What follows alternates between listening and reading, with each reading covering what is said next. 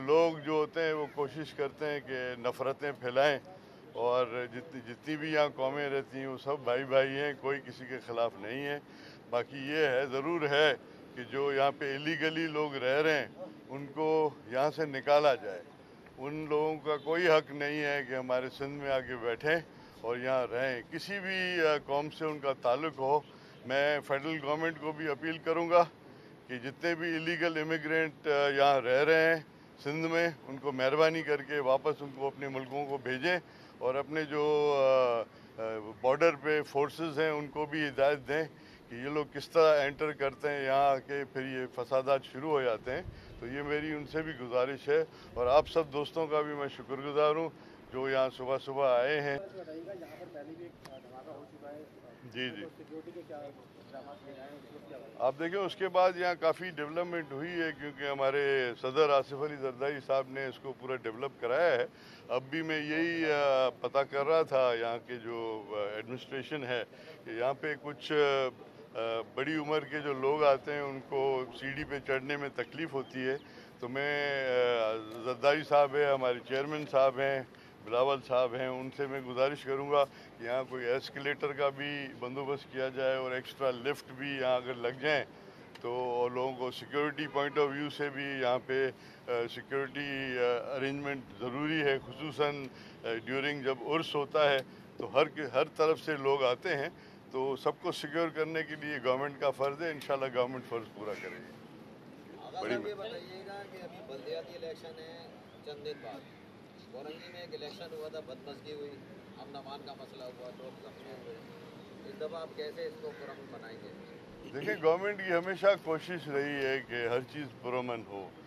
कुछ शैतान लोग जो हैं, वो आ जाते हैं बीच में।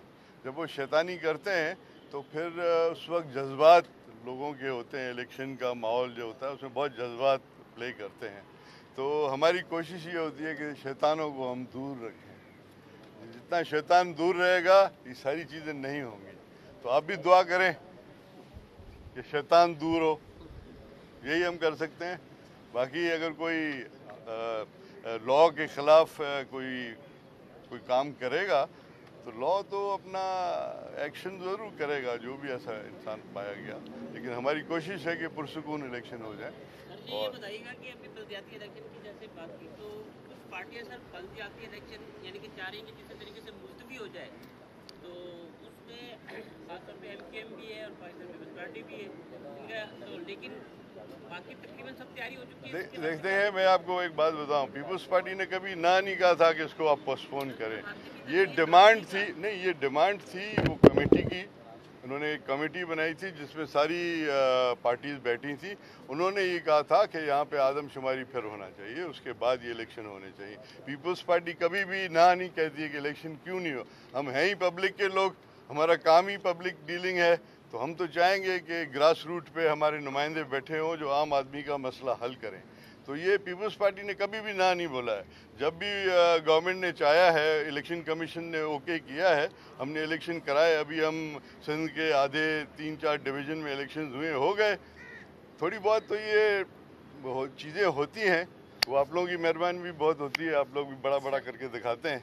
तो इससे ये सारी चीज़ें होती रहती है अक्सर ये चीज़ें होती हैं लेकिन अल्लाह खैर करेगा। सर ये बताएँ अभी शादमान का नाले का जो अभी सानिया पेश आया है उससे पहले कि सर अगर दस पंद्रह मिनट की भी बारिश हो जाए तो पूरा कराची भर जाता है सैलाब बन जाता है।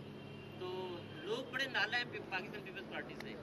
तो ऊपर से इलेक्शन नहीं वो वो वो पीपल्स पार्टी के खिलाफ एक वो है खाम खाई वो लोकल गवर्नमेंट का। मैंने पूरी कराची का सर्वे किया हुआ है। एक एक नाले का मैंने सर्वे किया है। नाले के बीच के अंदर लोगों को बिठाया गया है। वो उनके उन लोगों के वोटर्स हैं जिनको ज़बरदस्ती बिठा के उन उनको वहाँ लोकल शो करके। तो अब मैं क्या बातें आपको बहुत सारी बातें बता सकता हूँ। आप कभी अकेले आप कभी अकेले में आना तो बहुत सारी बातें बताऊँगा। मेहरबानी आप सब।